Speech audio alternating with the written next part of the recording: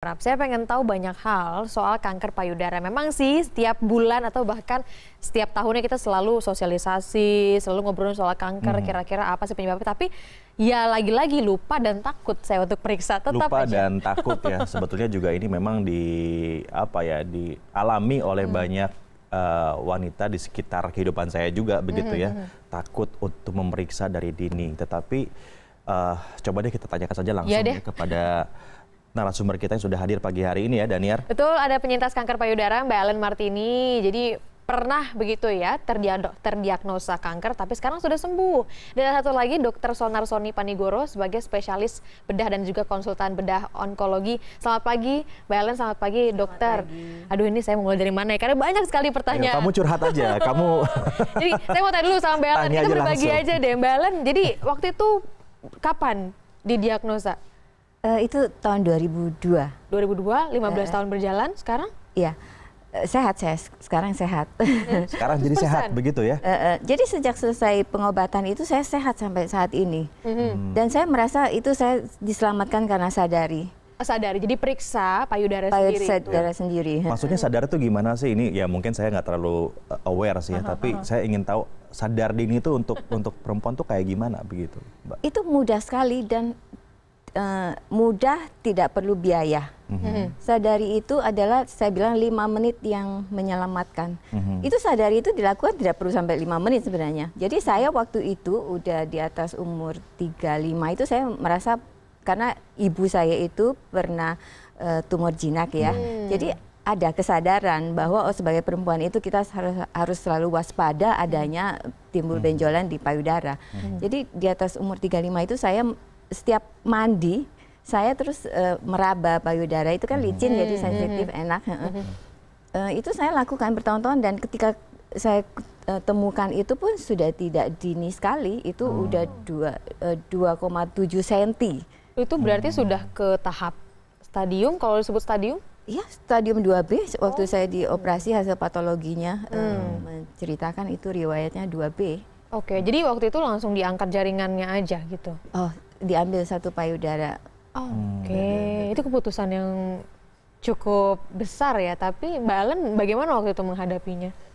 Iya, terus terang saat didiagnosa itu membuat kita bingung ya. Bahkan untuk mencari pengobatan pun kita sampai kayaknya eh, bingung dan eh, kehilangan semangat. Sehingga itu perlu dorongan dan support dari keluarga dan orang dekat. Itu eh, mengawal kita menuju eh, jalan pengobatan yang tepat. Heeh. Jadi ya setelah saya menemukan adanya benjolan itu, ya saya eh, eh, sadanis ya dok ya periksa payudara secara klinis. Jadi dikonfirmasi dengan pemeriksaan USG eh, dan mamografi. Ya. Dan itu dokter menyatakan ini 60% eh, ganas. Karena waktu itu langsung dibiopsi jarum halus, diambil cairannya untuk dilihat ini 60% ganas. Eh, dan saya sudah dikawal oleh keluarga sudah sudah second opinion, third opinion. Ini third opinion kalau eh, eh, dokter mengkonfirmasi itu ya sudah jalankan. Ya udah kita serahkan kepada dokter. Jalankan yang terbaik untuk saya dok. Karena waktu itu anak-anak baru eh, masih mm, yang yang yang besar baru naik SMP, yang kecil masih eh, TK. Mm-mm. Jadi s- waktu itu ya benar-benar ingin menyelamatkan jiwa saya. Eh, saya tidak pentingkan lagi bahwa ini harus kehilangan payudara. Jadi saya minta pada dokter lakukan yang terbaik untuk menyelamatkan saya. Hmm, jadi itu yang paling penting menyelamatkan diri begitu ya. Iya. Nah dokter jadi pertanyaan saya juga kalau dari cerita yang Belen kan berarti setiap tahun, setiap hari bahkan yang melakukan sadari itu, tapi ternyata ditemukan sudah stadium 2B. Nah ini seperti apa ya jadinya saya menanggapinya ini sebagai perempuan? Apakah saya memang harus betul-betul memperhatikan? Apakah saya harus langsung ke dokter saja untuk tahu seberapa besar saya punya resiko itu? Nah, jadi memang tadi yang disampaikan oleh Bu Ellen bahwa paling mudah dan murah adalah sadari. Tapi seperti kita ketahui bahwa payudara itu juga kan mempunyai eh, bentuk yang sedemikian rupa dan berbeda setiap orang sehingga eh, untuk meraba kadang-kadang harus dilatih juga. Apalagi payudara itu kan juga isinya itu bukan hanya eh, jaringan lemak seperti eh, apa namanya yang yang yang yang mudah diraba gitu. Jadi ada kelenjar-kelenjar payudara yang apalagi kalau masih belum menopause tuh masih sep- Aktif ya. berbenjol-benjol. Jadi kalau kita tidak pernah meraba juga mungkin akan kesulitan. Tapi paling tidak dalam proses perjalanan tadi disampaikan oleh Bu Ellen, tadinya tidak ada sesuatu yang aneh, kok sekarang Kok jadi ada? Mhm. Nah, tapi itu sangat tergantung sebenarnya dengan sensitivitas tangan kita. Hmm. Jangankan eh, penderita atau orang awam, dokter saja itu rata-rata bisa meraba setelah di atas satu cm. Ah. Padahal idealnya kan kita tadi sedini mungkin Iya, idealnya. iya, Makanya sering kali juga kita menganjurkan untuk eh, sekali-kali satu atau dua tahun sekali ditambah dengan pemeriksaan penunjang, tadi Hmm. USG atau mamografi tergantung eh, usianya. Nah, Itu yang- itu dia. Jadi sebetulnya paling baik tetap aja ya periksa aja Periksa begitu ya aja dok ya. langsung ya. Dan tidak perlu karena kan ini masalahnya Tapi masalah tidak usah langsung. Ah. Karena kan tadi yang paling mudah kan periksa. Tapi ingat ya, Ya, juga. intinya curhat dulu ya. Intinya curhat aja dulu ke dokter sih, gampangnya seperti itu. Karena banyak banget nih soal mitos, fakta terkait dengan kanker payudara. Bahkan ini beberapa di antaranya pun ingin ditanyakan sama warga. Ya, kita merekam beberapa pertanyaan yang datang langsung dari masyarakat. Coba kita dengarkan seperti apa pertanyaan dari mereka. mitos atau bukan penggunaan eh, bra warna hitam di siang hari itu mitos atau fakta gitu soalnya kan eh, menurut di internet suka baca-baca itu kan browsing-browsing hindari pemakaian bra warna hitam di siang hari terus bagaimana pencegahan sedini mungkin mengenai kanker payudara itu aja Pertanyaan saya, bagaimana uh, pola hidup, gaya hidup untuk menghindari kanker payudara? Untuk survivor dan bagaimana cara uh, apa ya, menghadapi atau menjaga kesehatan untuk masa pengobatan dari kanker payudara itu? Hmm, jadi itu tuh saya juga pertanyaannya sama tuh soal pemakaian bra itu tadi. Iya, karena kita baca artikelnya di mana-mana tuh dokter Iya. tentang hubungan bra dan eh, kanker, Kanker. payudara begitu. Kita akan coba jawab ya dokter setelah jeda pariwara. Tetap bersama kami pemirsa, jangan ke mana-mana.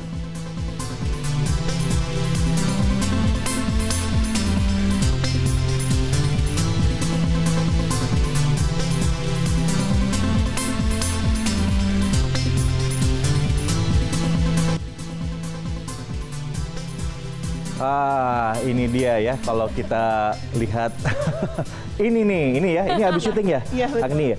Jadi waktu itu kamu di ini ya di apa di cukur habis gitu, Pur, oh. like totally Iya. bald. Tapi gini, kalau pikiran orang botak, apalagi kita bicara soal kanker, itu berarti Iya. kan sehabis kemo. Di film ini memang Agni berperan sebagai yang uh, terkena cancer atau gimana? Di film ini aku sebenarnya yang berperan sebagai penyemangat lainnya. Ah, justru yang memberi support. Iya betul.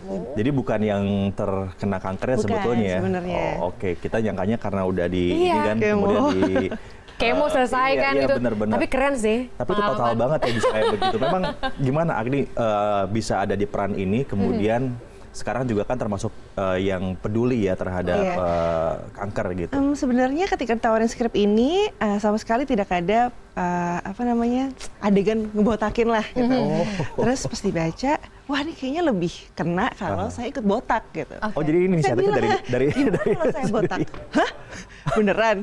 Eh, pakai prostetik apa enggak? Enggak beneran. Wah boleh.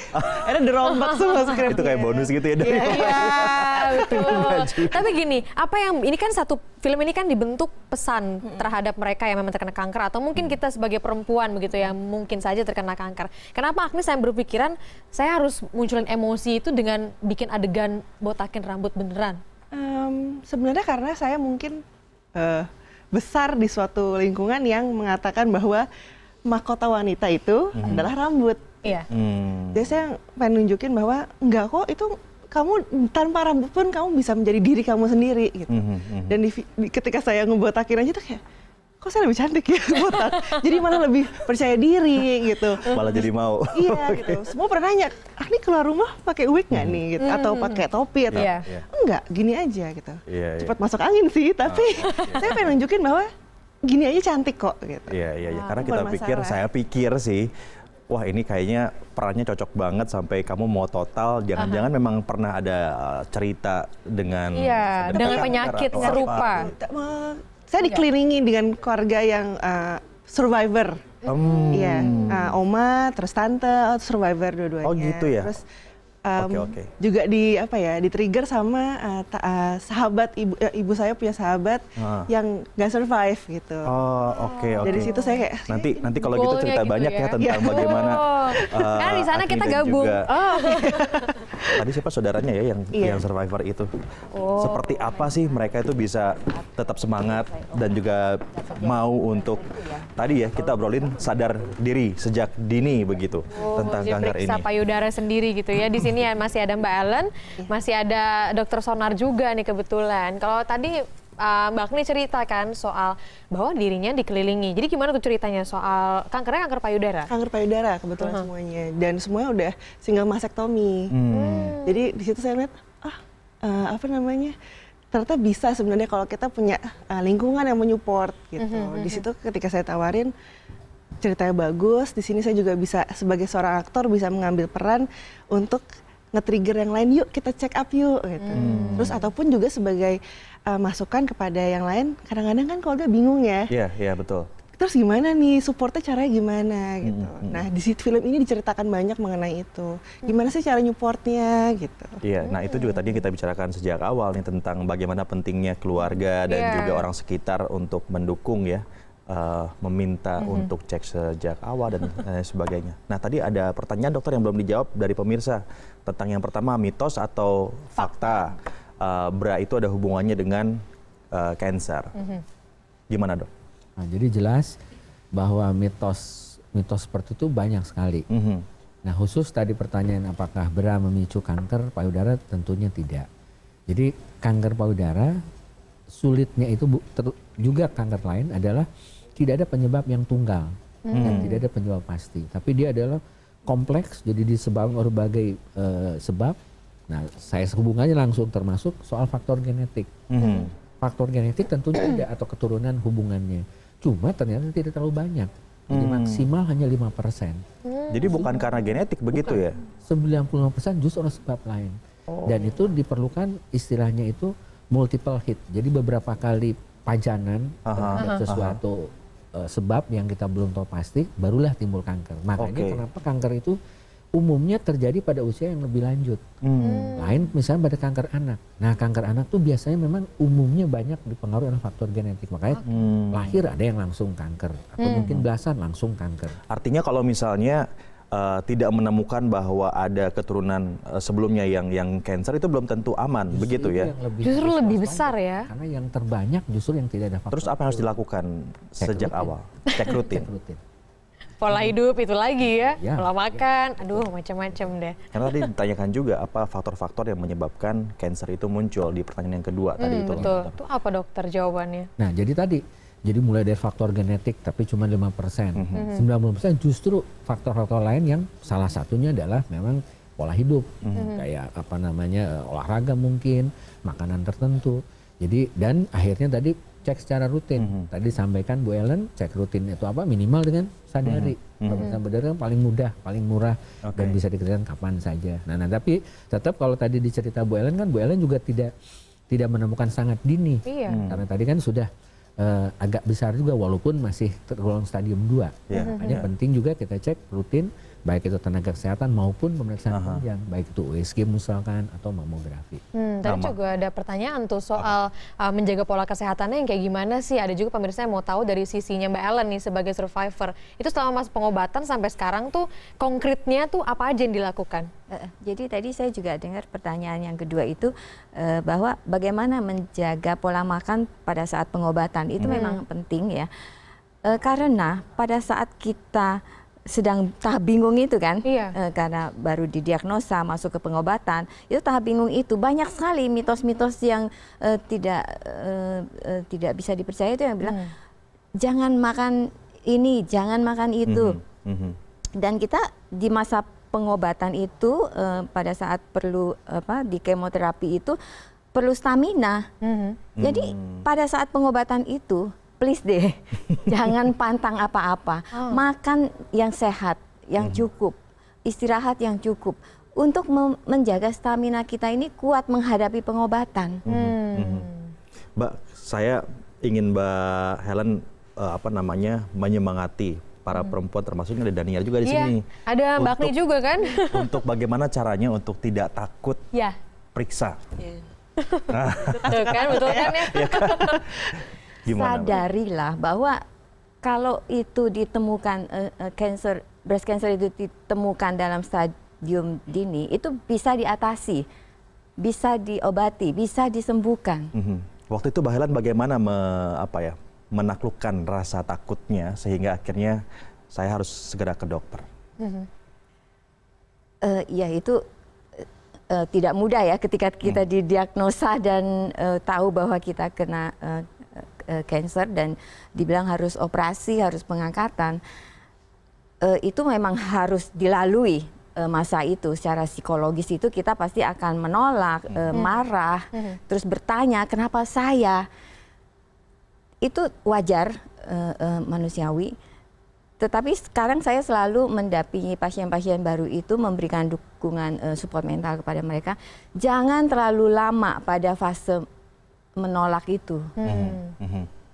Oke, baik. Se- secepat mungkin keluar eh, eh, mencari bantuan, mencari support. Banyak su- eh, support group sekarang support eh, eh, untuk breast cancer. Jadi segera cari Komunitas apa ya, itu. komunitas, teman ya Komunitas. untuk menguatkan. Baik, Mbak Helen terima kasih banyak sudah berbagi di sini. Dokter Sanar juga terima kasih banyak. Eh, banyak informasi baru untuk pemirsa di rumah, terutama juga ini ada istri saya lagi nonton juga ya. Iya Ayo, dong. mau cepet.